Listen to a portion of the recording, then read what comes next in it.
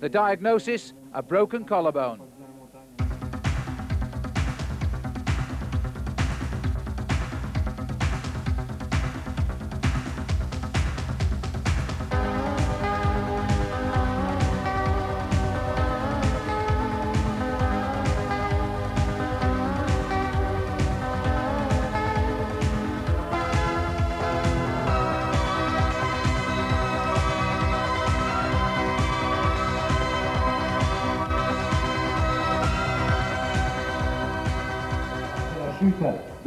And welcome to the square in Arras in northern France this morning and the question on everybody's lips is will Rolf Sorensen arrive with his Ariostea team and sign on for this morning's stage?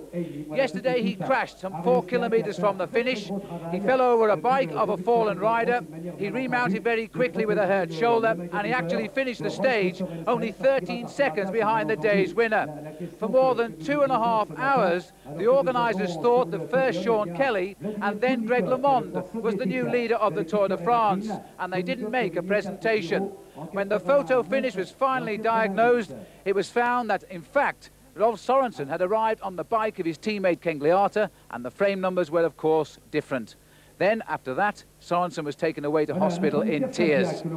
Last night, Gary Imlach went to his hotel and he found a very sad and frustrated race leader. Rolf Sorensen was still wearing the yellow jersey last night, but it was in tatters, and so were his chances of finishing the Tour, despite a brave and painful ride to finish yesterday's stage after his crash.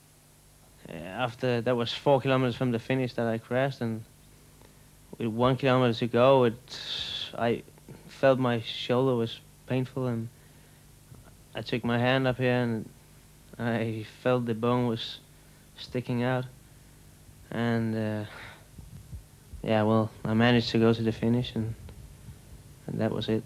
Then, then it was painful a lot. How does the injury feel now, Rolf? It's a little bit better, but it's still very painful. And uh, they made this big bandage, and they tried to push it a little down to to make it the pain less. Uh, when I was driving to the hospital, it was I was crying the pain because I've never felt a pain like that, and maybe the pain, maybe the, maybe the what do you call it? Uh, yeah, the shock and uh, and disappointment from losing. maybe should stop in the tour, what actually happened, because it's a, it's broken and it's quite not very easy to set together, so they have to operate me.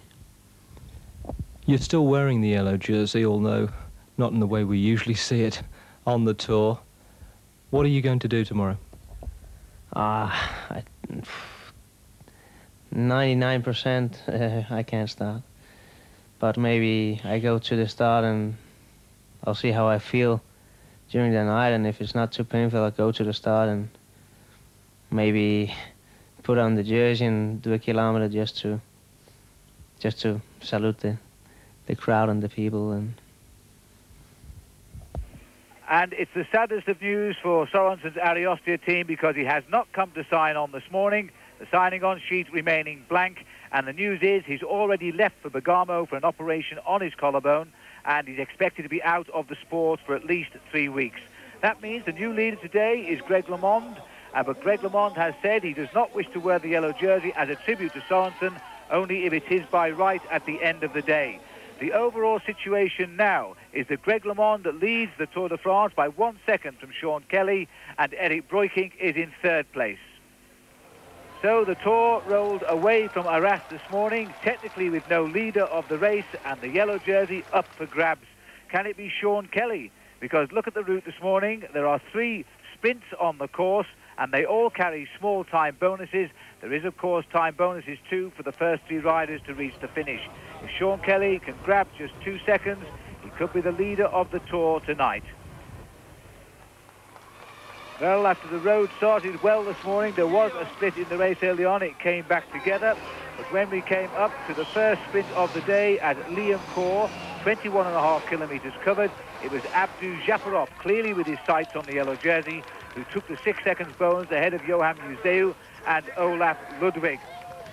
And at the second sprint, at 158 kilometres covered at there, Thierry Marie was in the lead, and in the lead by 15 minutes.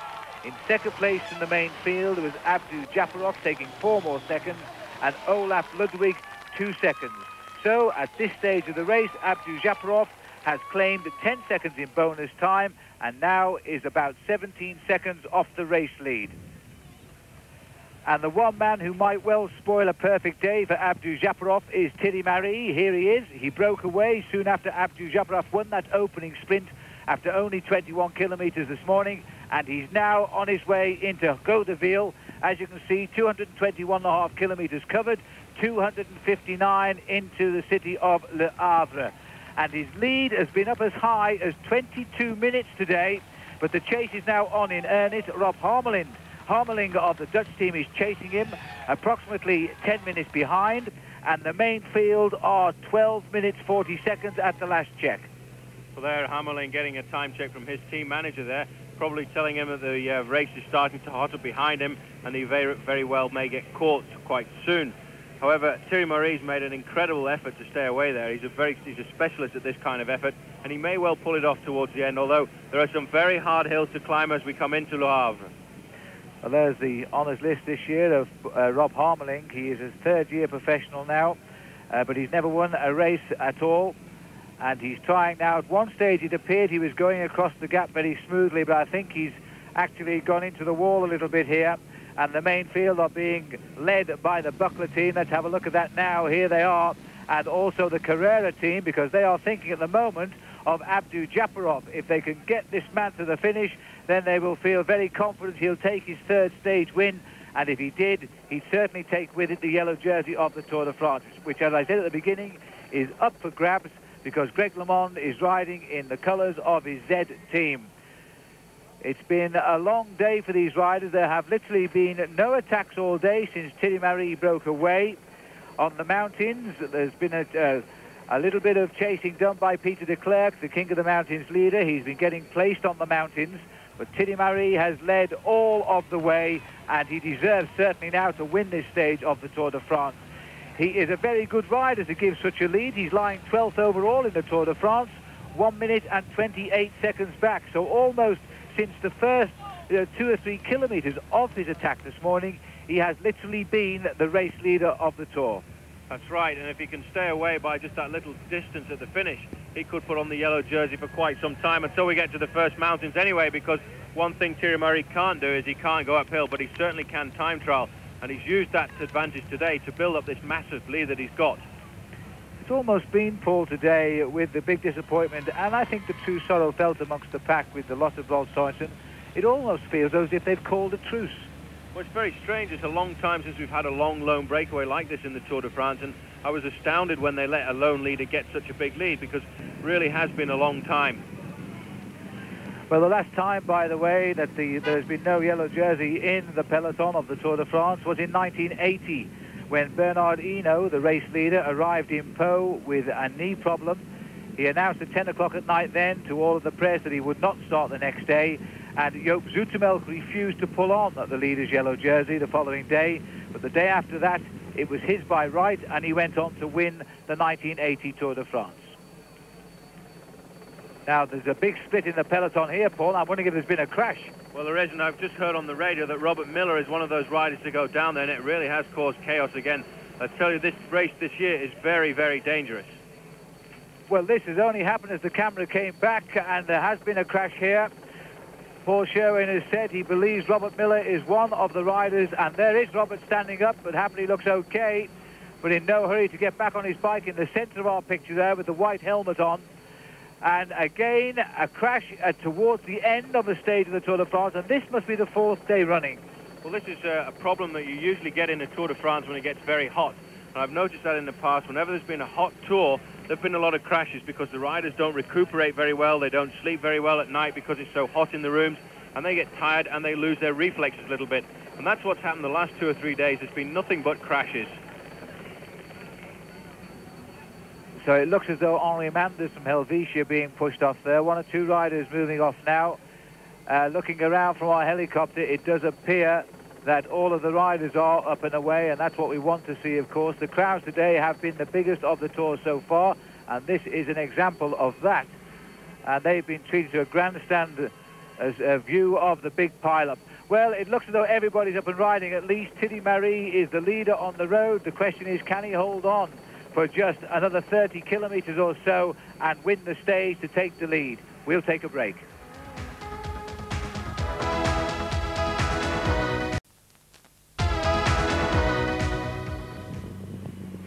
Well, welcome back and just in time because the main field here, some seven and a half minutes since Thierry Marie went through this third and final sprint of the day, are now approaching for the second place and a four-second time bonus.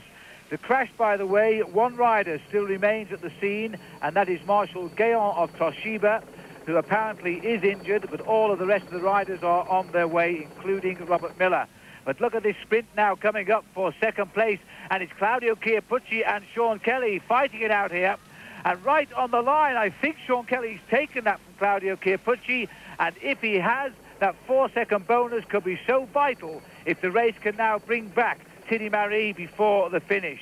Well, Claudio Chiappucci, by his manner of attacking riding, is one of the most popular riders among the spectators in this year's Tour de France, as Gary Imlach reports. Claudio Chiappucci is pro cycling showman, the little rider with the big opinion of himself and a relentless attacking style to back it up. His stunts on the road may not always come off, but the press and public love him for it, especially in his native Italy. There are fewer members of the Claudio fan club, though, in the peloton, which has to spend more time and energy than it would like chasing down reckless Chiappucci breaks. I enjoy very much to present a nice show to my fans. Cycling must be a spectacular event to please them. It's also very exciting for me to influence a race by the way I behave on the roads. So I will always try to win if I feel I am physically able to. It was Chiappucci's love of the breakaway that enabled him to get a 10-minute jump on the big names in last year's tour and take the yellow jersey, which he held until the final time trial. As well as making his mum proud, the Maillot Jaune also made Claudio's name outside Italy. In the meantime, he says, his team leader's status at Carrera had already begun to make him a little more cautious. Yes, it's nice and still funny. I enjoy to be known, but as I said, I have more responsibilities than in the past. Now I have to take care of the whole team, which is helping me a lot. I moved into a complete new situation which I had to learn to deal with. Before, I could attack when I wanted. I could take more risks without being under pressure. Now I have to use my brain in a more efficient way. I still like to be aggressive on the roads, but I can't make big mistakes anymore. As a marked man this year, it's also unlikely he'll be able to make a really big break from the pack. But attacks on stage four on the road to Reims, and again yesterday, show that the world number two is still a wild card to be reckoned with in this year's tour. But right now, we're not looking at Claudio Chiappucci on the attack, but his arch rival, Bugno, and Greg LeMond is going after him as well. So Gianni Bugno again antagonizing the peloton as he tries to steal a few seconds before the finish of a stage of the Tour de France. Thierry Marie is still holding on to around five minutes of his lead at the moment. But these speeds, the speed now in the main field, it must be coming down very quickly. Well, it must have been Greg LeMond being very attentive today. He noticed that the man to watch was uh, Gianni Bugno. Yesterday we had the attack by Claudio Chiappucci. It looks to me as if the leaders of the Tour de France don't want to wait until they get to the mountains before they attack. And the attacks are coming every day now from one rival or the other. Back to the leader, and he is now, and he deserves to look tired too, is his Thierry Marie. Maree is now on the outskirts of Le Havre, but still about four and a half kilometres to go. And his legs surely now, Paul, are the, they must be like rubber. Well, they really are hurting now. You can see how he was using the top part of his body there, but this is an incredible group that's formed behind. That's Tiboldi on the front there, trying to put the pressure on. And we've got an incredible group, as I say. Abdoujaparov is in there, Greg LeMond, Gianni Bugno, Johan Bruyneel from the Lotto squad, Phil Anderson, Jean-Claude Colotti, Etienne de Wilde is there, the, the, rider who won just a few days ago. Maurizio Fondriest, Charly Mottet. So what a group we've got here. Well, this group is now a 15-second break over the main field. And a few seconds, and the rider you didn't mention there, Paul, I don't think, was Eric Breukink, so he must have missed it. I didn't get Eric Breukink's name at all over the radio there, so he may well have missed that. It's just 15 seconds gap. This is LeMond on the front now, putting the pressure on, followed very closely by Sean Kelly. Well, Sean Kelly is absolutely superb in this year's Tour de France. You know, he's 35 years of age. He started this season with a broken collarbone. Now, it's worth taking note here that in 1983, when Sean Kelly wore the leader's yellow jersey in Pau in the Tour de France, he also started the season with a broken collarbone.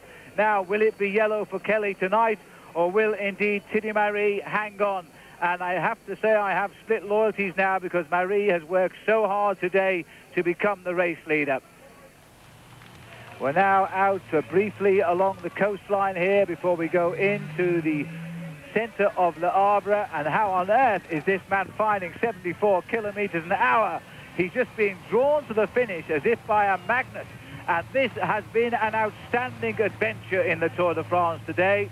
Breaking away after 25 kilometres, and I'm sure now, Paul, he won't be caught. Well, I'm fairly sure he's not going to be caught either. And what a strong man, three kilometres to go. That's about four minutes of pain that he's got to go through, and that's the distance, only just a little bit lower than the distance of the prologue that he won a few days ago. But this man really is a specialist of the solitary effort.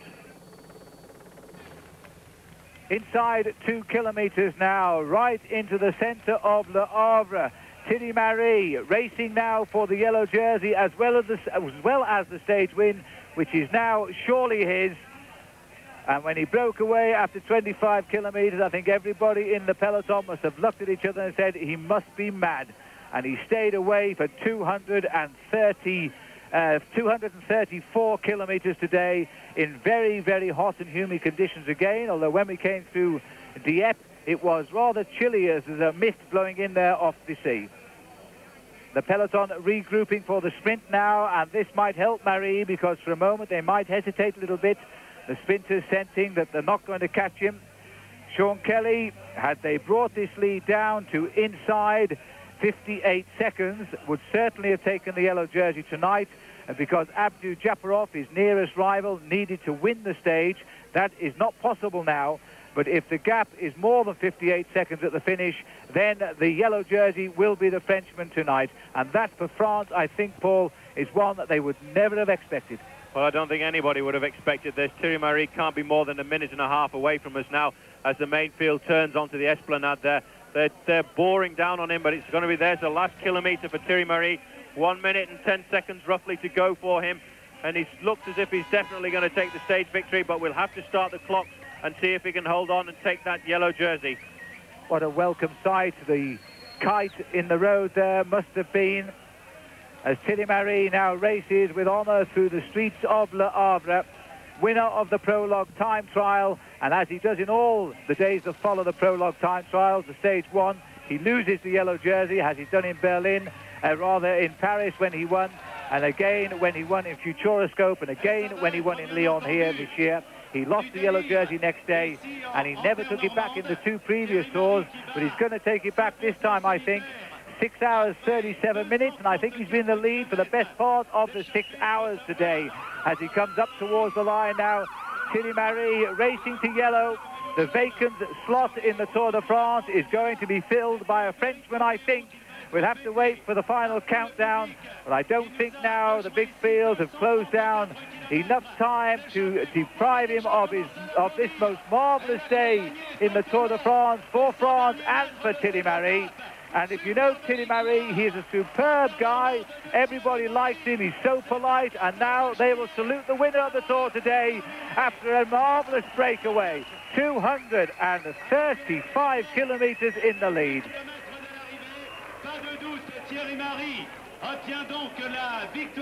And now the clock is counting as we gaze out across the basins here in Le Havre.